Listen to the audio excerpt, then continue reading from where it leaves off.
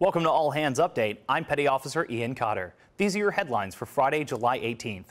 Patrol Squadron 16, or VP 16, completed its first deployment July 16th, marking the first operational deployment of the P 8A Poseidon.